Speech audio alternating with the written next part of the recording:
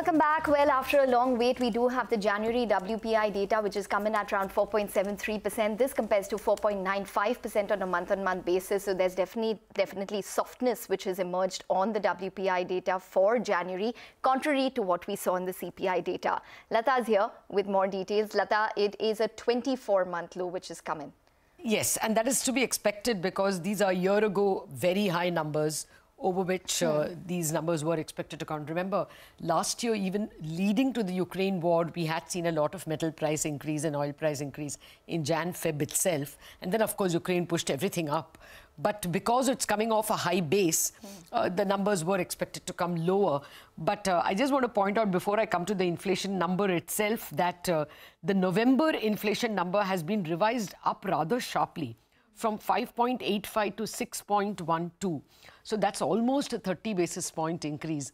Usually, uh, uh, you know, this is unusual, such a uh, sharp increase. But be that as it may, the number for uh, January itself at 4.73 is not at all alarming. It's lower than 4.95 in December. Uh, one of the news agencies had a poll of 4.6, so you may whine a little saying that it is about 13 basis points more than the poll, but that's not saying much.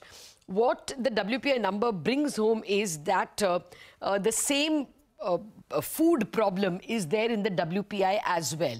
The food index is up 0.5% on the month. Remember, the uh, CPI was 2.6% on the month. So that's a bit shocking. But uh, if you uh, looked at, uh, okay, there is a 2.95%, sorry, there is a 2.95% food inflation higher. So that looks a little scary. I think that 0.5 uh, uh, is some other index. Food inflation WPI is 2.95 up on the month, and that looks like it is uh, uh, attesting to what we saw in the CPI as well. Manufactured products inflation has fallen to 2.99. That's almost 3% compared to 3.37 in December. That's a positive. Fuel inflation also lower, 15 and 15.15 compared to 18% uh, uh, in December. So overall, there has been a, a, a reduction in YOY terms in manufactured uh, products and in fuel. Only in food inflation we are seeing a rise. So quite clearly that has to be attributed to cereals. Cereals index, this one says, is up 1.7% on the month.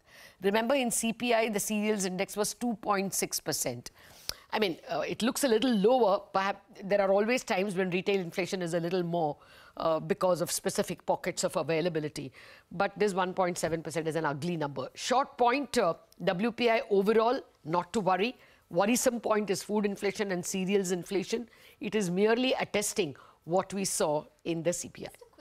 Latha, is this WPI data going to be seen in context of what happened with the CPI data now? That despite WPI mm. maybe coming higher than what the street was estimating at around 4.6%, it's at least better than what the CPI data reported. Uh, well, actually, the WPI is a slightly less important number because yeah. the policy is mandated to On look CPI. at CPI. So to that extent, uh, you know, the MPC can't shake off hmm. the fact that it is going into a meeting with the inflation number higher than their mandate. Yeah. Uh, so that is what is going to hurt them. Therefore, uh, I mean, I don't see the uh, lower WPI having a very, very big, big impact, impact on hmm. the MPC for what it is worth, at the moment, the bond yields have softened by about one basis point. Okay. But that's neither here nor there. I think the big takeaway is that uh, cereals inflation has come in high. So it is kind of giving uh, uh, a proof hmm. that the CPI number was not all that incorrect. Okay, so we can deal with one shock, which is a CPI number. Two shocks we are not okay with, right? So, uh, all right. Thanks a lot, Latha, for joining in and explaining uh, to us. That's the January WPI inflation number. But let's move on now. Uh, we have a corporate